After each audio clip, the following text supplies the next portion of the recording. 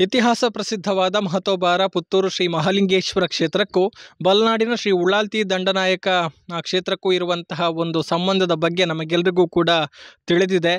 ಪುತ್ತೂರು ಮಹಾಲಿಂಗೇಶ್ವರ ದೇವರ ಜಾತ್ರೋತ್ಸವ, ರಥೋತ್ಸವ, ಅವಭೃತ ಎಲ್ಲವೂ ಕೂಡ ಸಂಪೂರ್ಣಗೊಂಡ ಬಳಿಕ ಉಳ್ಳಾಲ್ತಿ ದಂಡನಾಯಕ ಕ್ಷೇತ್ರ ಬಲ್ನಾಡಿನಲ್ಲಿ ಜಾತ್ರೋತ್ಸವ ಅಥವಾ ನೇಮೋತ್ಸವ ಆರಂಭಗೊಳ್ಳುತ್ತೆ. ಈ ಒಂದು ಸಂಭ್ರಮದಲ್ಲಿ ಪಾಲ್ಗೊಳ್ಳೋದಿಕ್ಕೆ ನಾಡಿನ ನಾನಾ ಭಾಗಗಳಿಂದ ಭಕ್ತಾದಿಗಳು ಬಂದು ಪಾಲ್ಗೊಳ್ಳುವಂಥದ್ದು ನಮಗೆಲ್ಲರಿಗೂ ಕೂಡ ಗೊತ್ತಿರುವಂತಹ ವಿಚಾರ. ಈ ಸಂದರ್ಭದಲ್ಲಿ ಉಳ್ಳಾಲ್ತಿಯ ಆ ನೇಮದ ಸೊಬಗನ್ನು ಕಣ್ತುಂಬಿಕೊಳ್ಳೋದಿಕ್ಕೆ ಇಡೀ ಭಕ್ತ ಸಮೂಹ ಕಾತರವಾಗಿರುತ್ತೆ. ಅಲಂಕಾರದಲ್ಲಿ ತಾಯಿ ಉಳ್ಳಾಲ್ತಿಯು ಕಂಗೊಳಿಸುವಂಥದ್ದನ್ನು ನೋಡಿದರೆ ಎಂತಹವರ ಮೈಮನ ಕೂಡ ರೋಮಾಂಚನ ಆಗುವಂಥದ್ದು ನಾವೆಲ್ಲರೂ ಕೂಡ ಗಮನಿಸಿರುವಂತಹ ವಿಚಾರ. ಈ ಸಂದರ್ಭದಲ್ಲಿ ಉಳ್ಳಾಲ್ತಿಯ ತಲೆಯಲ್ಲಿ ಶೋಭಿಸುವಂಥದ್ದು ಒಂದು ಬಂಗಾರದ ಮಲ್ಲಿಗೆಯ ಹೂವು. ಅಂದರೆ ಸಣ್ಣ ಮಟ್ಟಿನ ಹೂವಲ್ಲ, ದೊಡ್ಡ ಮಟ್ಟದಲ್ಲಿ ಆ ಇರುವಂತಹ ಆ ಒಂದು ಬಂಗಾರದ ಹೂವನ್ನು ನೋಡಿದರೆ ಎಂತಹವರ ಮನಸ್ಸು ಕೂಡ ಒಂದು ಬಾರಿ ಮುದಗೊಳ್ಳುತ್ತೆ. ಆ ಒಂದು ಅಲಂಕಾರದಲ್ಲಿ ತಾಯಿಯನ್ನು ಕಣ್ತುಂಬಿಕೊಳ್ಳುವಂಥದ್ದೇ ಒಂದು ಪುಣ್ಯ ಎನ್ನುವಂತಹ ಭಾವನೆ ಇರುವಂಥದ್ದು.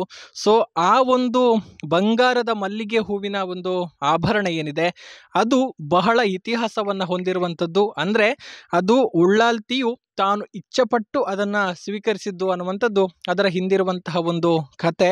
ಆ ಕತೆಗೆ ಸಂಬಂಧಿಸಿದಂಥ ಅಥವಾ ಆ ಒಂದು ಐತಿಹ್ಯಕ್ಕೆ ಸಂಬಂಧಿಸಿದಂತಹ ಮನೆ ಏನಿದೆ, ಆ ಮನೆ ಹತ್ತಿರ ನಾವಿದ್ದೇವೆ. ಇರುವಂತಹ ಜಾಗ ಇದು ಕೊಡಿಪಾಡಿ ಗ್ರಾಮದ ಶೇರ ಮಲೆಮೂಲೆ ಎನ್ನುವಂತಹ ಒಂದು ಮನೆ. ಈ ಒಂದು ಮನೆಯನ್ನು ನೀವು ಗಮನಿಸಬಹುದು. ನೂರ ಹತ್ತು ವರ್ಷಗಳನ್ನು ಪೂರೈಸಿದಂತಹ ಹಿರಿಯರ ಮನೆ ಇದು.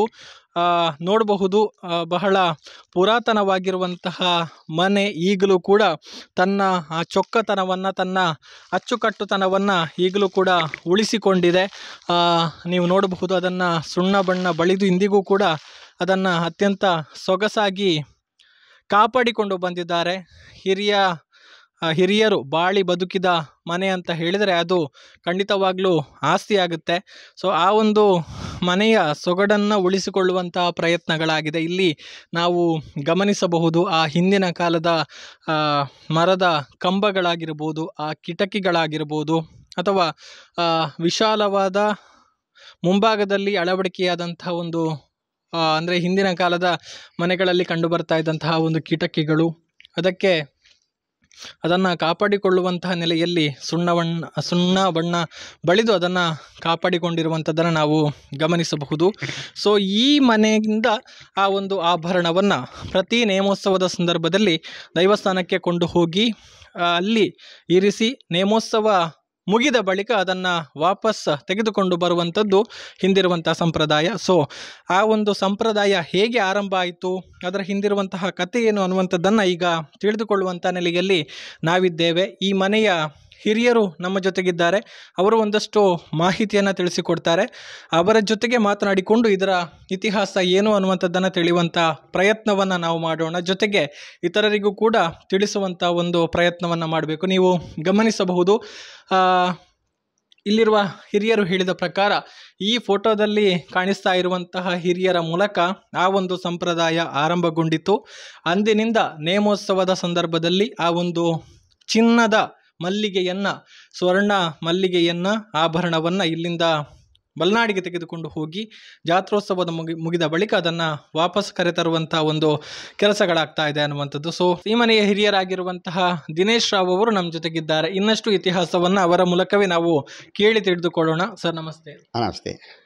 ಬಹುಶಃ ಆ ಒಂದು ಉಳ್ಳಾಲ್ತಿಯನ್ನ ಆ ಸ್ವರ್ಣದ ಮಲ್ಲಿಗೆ ಅಲಂಕಾರದಲ್ಲಿ ನೋಡುವಂಥದ್ದೇ ಒಂದು ಬಹಳ ಸುಂದರ ಸೊಗಸಾದ ಒಂದು ಸನ್ನಿವೇಶ. ಬಹುಶಃ ಆ ಒಂದು ಆಭರಣದ ಹಿಂದೆ ತಮ್ಮ ಮನೆತನದ ಒಂದು ಕನೆಕ್ಷನ್ ಇದೆ ಅಥವಾ ಸಂಬಂಧ ಇದೆ ಅನ್ನುವಂಥದ್ದು. ಅದು ಏನು ಅದರ ಹಿನ್ನೆಲೆಯನ್ನು ವಿವರಿಸಬಹುದಾ? ಇದು ನಮ್ಮ ಹಿರಿಯರ ಅಂತ ಅಜ್ಜ ಮಲ್ಲಿಗೆ ಹೂವನ್ನು ಮಲ್ಲಿಗೆ ಹೂವನ್ನು ಮಾಡಿಸಿದ್ದು ಅಜ್ಜಿಗೋಸ್ಕರ. ಅವರ ಹೆಂಡತಿಗೋಸ್ಕರ. ಅಲ್ಲ ಅವರ ಹೆಂಡತಿ ಪುತ್ತೂರು ಜಾತ್ರೆಗೆ ಹೋಗುವಾಗ ಅದು ಇಟ್ಟುಕೊಂಡು ಹೋಗುವಾಗ ಉಳ್ಳಾಳ್ತಿದ್ದೆ. ದೃಷ್ಟಿ ಬಿತ್ತಂತೆ. ದೃಷ್ಟಿ ಬಿದ್ದ ದೃಷ್ಟಿ ಬಿದ್ದ ನಂತರ ಅದನ್ನು ಉಳ್ಳಾಳ್ತಿ ತನಗೆ ಒಪ್ಪಿಸಬೇಕು ಅಂತ ಕೇಳಿದಂತೆ. ಅದಕ್ಕೆ ನಿನಗೆ ಒಪ್ಪಿಸಲಿ ನಿಮಗೆ ಒಪ್ಪಿಸಲಿಕ್ಕೆಲ್ಲ ವರ್ಷಕ್ಕೊಮ್ಮೆ ಇಟ್ಟು ಮತ್ತು ಹಿಂದೆ ಅಲ್ಲ ಹಿಂದೆ ಮನೆಗೆ ಕೊಂಡೋಗೋದು ಹಾಗೆ ಸಾಧಾರಣ ಒಂದು ನೂರು ವರ್ಷ ಆಗಾಯಿತು ಇದು ನಡೀತಾ ಉಂಟು.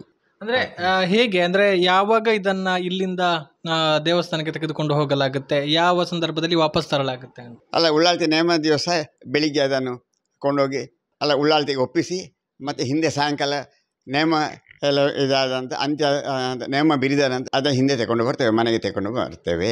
ಅಂದರೆ ಈ ಸಂದರ್ಭದಲ್ಲಿ ಇರುವಂತಹ ಕ್ರಮಗಳೇನು? ಯಾವ ರೀತಿ ತೆಗೆದುಕೊಂಡು ಹೋಗಲಾಗುತ್ತೆ? ಅಲ್ಲಿ ಯಾವ ರೀತಿಯ ಒಂದು ಮರ್ಯಾದೆಯನ್ನು ತಮಗೆ ಕ್ಷೇತ್ರದ ವತಿಯಿಂದ ಕೊಡಲಾಗುತ್ತೆ? ನಾವು ಅಲ್ಲಿ ಕೊಂಡೋಗಿ ಕೊಟ್ಟ ನಂತರ ನಮಗೆ ಹಿಂದೆ ಹಿಂದೆ ಅದನ್ನು ಹಿಂದೆ ಕೊಡುವಾಗ ಆ ಉಲ್ಲಾಸ ಮಲ್ಲಿ ಕೊಡುವಾಗ ಇದು ಸಿಯಾಳ ಮತ್ತು ಮಲ್ಲಿಗೆ ಹೂ ಮಲ್ಲಿಗೆ ಹೂವು ಕುಂಕುಮ ಎಲ್ಲ ಕುಂಕುಮ ಎಲ್ಲ ಕೊಟ್ಟು ಒಳ್ಳೆ ಮರ್ಯಾದೆ ಕೊಟ್ಟು ಅದನ್ನು ನಮಗೆ ನಮಗೆ ಹಿಂದಕ್ಕೆ ಕೊಡ್ತಾರೆ.